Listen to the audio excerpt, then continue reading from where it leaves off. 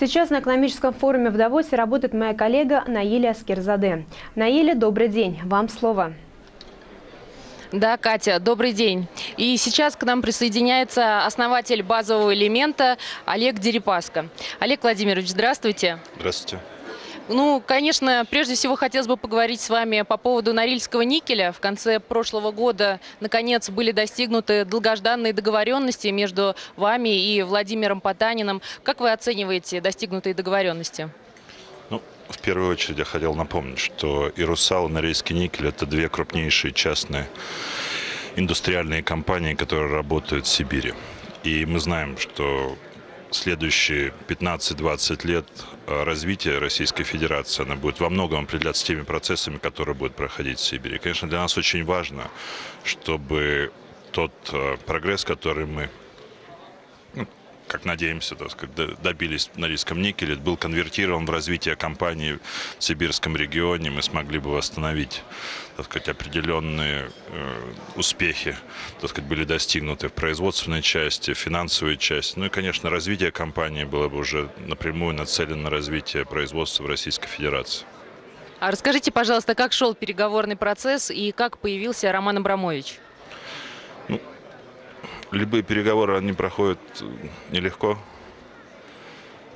В конце концов, стороны сделали много компромиссных э, шагов навстречу друг другу. И опять-таки, я еще раз хочу подчеркнуть, что задача «Русала» это было обеспечить условия, при которых компания могла бы стабильно развиваться следующие 5-7 лет.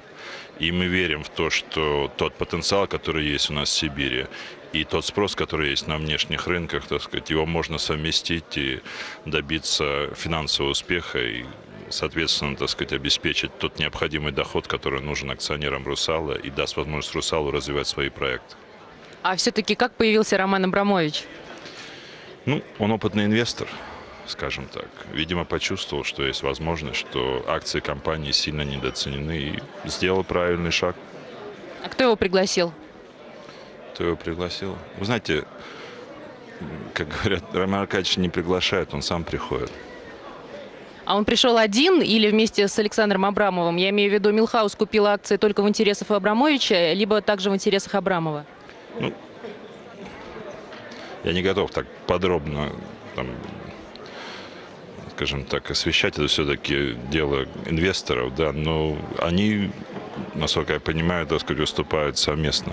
То есть это два квалифицированных инвестора. С Романом Аркадьевичем мы работали с момента основания «Русала». Абрамов создал крупнейшую сталелитейную горнодобывающую компанию, которая работает на четырех континентах. Так что я рад, что у нас появились такие инвесторы, которые могут квалифицированно поддержать развитие компании. А не считаете ли вы, что выплата предыдущему гендиректору Стрижалковскому 100 миллионов долларов является чрезмерно высокой? Я бы не хотел комментировать этот вопрос. А новый гендиректор, господин Потанин, будет получать такую же оплату за свой труд? Все зависит от результатов. А... Вы понимаете, за любой труд нужно достойно платить. То есть это аксиом. То есть какие бы ни были там другие факторы – ты можешь быть акционером, ты можешь... Ну, любой труд – это колоссальные затраты времени, колоссальные затраты усилий. Поэтому, еще раз говорю, Норильский никель – это пятерка российских компаний.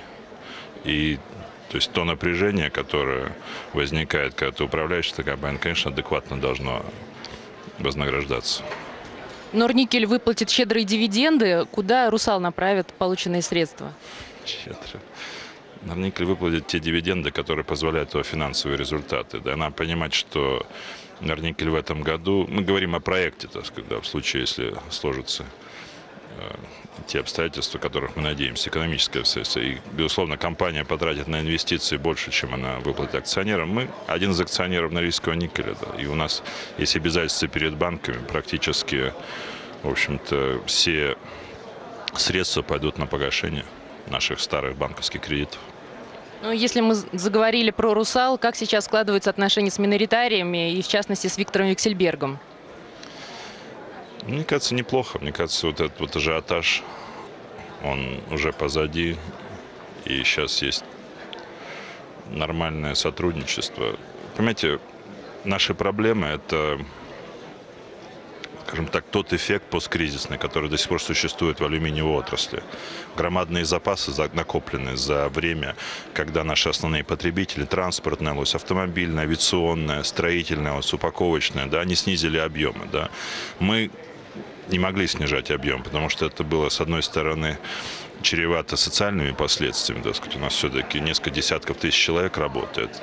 С другой стороны, это бы отразилось на экономику многих регионов, потому что мы крупнейшие потребители, и мы своими платежами за электроэнергию, кстати, электроэнергия в этом году в России впервые за последние 70 лет дороже, чем та же электроэнергия в Соединенных Штатах, так сказать. То есть если бы мы сократили свои объемы, допустим, производства, это бы отразилось на наших потребителях, на наш, наших поставщиках электроэнергии. И поэтому мы вынуждены были преодолевать кризис, то, что называется не снижая объема, не оптимизируя так сказать, те производственные мощности, которые, наверное, нужно было остановить. И это, к сожалению, так сказать, также было практически во всем мире. Сегодня мы имеем то, что имеем. Цены до сих пор находятся на уровне примерно 60% от цен до кризисного. Происходит мягкое восстановление. Мы не можем жаловаться по поводу спроса. В прошлом году мировой спрос на алюминий вырос на 6%. В этом, наверное, немножечко чуть поменьше. Ну, это устойчивая тенденция. Мы понимаем, что через 3-4 года когда спрос восстановится до уровня, при котором складские запасы не будут влиять такого, оказывать такого психологического воздействия на рынок, и мы увидим настоящие цены на алюминий. Сегодня нужно, нужно набраться терпения. Сегодня в ходе выступления премьера Медведева вы э, выступили с критикой по поводу процентных ставок в России. Как вы оцениваете кредитно-денежную политику Российского Центрального банка? Я хотел бы напомнить, что было проведено исследование «Возможные сценарии». То есть было выбрано три наиболее вероятных сценария, было больше 350 экспертов опрошено. Да. И в момент обсуждения, которое произошло утром до выступления Дмитрия Анатольевича, которое, кстати, было принято очень тепло на форуме, а, мы обсуждали, какие самые критичные факторы. И практически недушно сошлись на мнении, что одним из самых важных факторов это та кредитно-денежная политика, которую проводит Центральный банк. То есть мы, конечно, имеем вопиющую ситуацию. Если Давос сейчас подводит более-менее позитивные итоги развития американской экономики, наметила стабилизация еврозоны, мы видим -то сохраняющий рост и определенный оптимизм в Азии после появления нового кабинета в Японии, то Центральный банк – это на мой взгляд, они здесь как коновалы, которые выпустили всю кровь из экономики. Да, мы спасли несколько банков. Да, у нас, так сказать, более-менее стабильная ситуация в банковской сфере, но рост остановлен практически, да, там, в четвертом квартале. Ставки на высочайшем уровне, на высоченном уровне доступ к экономическим, ну, экономических субъектов, финансовым ресурсам отсутствует. Посмотрите, не мелкий, не средний бизнес. Даже для крупных компаний существуют определенные трудности. И Центральный банк, он прячется за ширмой каких-то общих фраз, говоря о том, структурные э, проблемы в экономике, которые невозможно преодолеть. Ну, фактически он ничего не делает для того, чтобы... Все центральные банки мира понимая экономическую ситуацию, создали программу мер, которые бы поддерживали занятость, стабилизировали, ушли бы от падения, так сказать, и обеспечили возникновение экономического роста. У нас полностью наоборот. Сначала мы, грубо говоря, про, проели почти 200 миллиардов долларов резервов. Абсолютно ненужная ситуация. Зачем мы боролись там за курс рубля? Затем мы создали такую ситуацию, при котором любой заемщик хочет побыстрее вернуть деньги в банк потому что ему он не может обеспечить такую доходность, которая бы обеспечила проценты. И мы, соответственно, сжимаем экономический рост так сказать, за счет сокращения инвестиций. Причем факты налицо. Они это не замечают, продолжают бубнить какие-то общими, общими фразами, так сказать, там, суеверия свои центрально-банковские. Но факт остается фактом. Если мы не поменяем эту систему, мы не только, скажем так, окажемся без роста, но мы поставим под вопрос стабильность существующей сегодня экономической системы. Так сказать. Это значит, у нас опять будут вопросы занятости.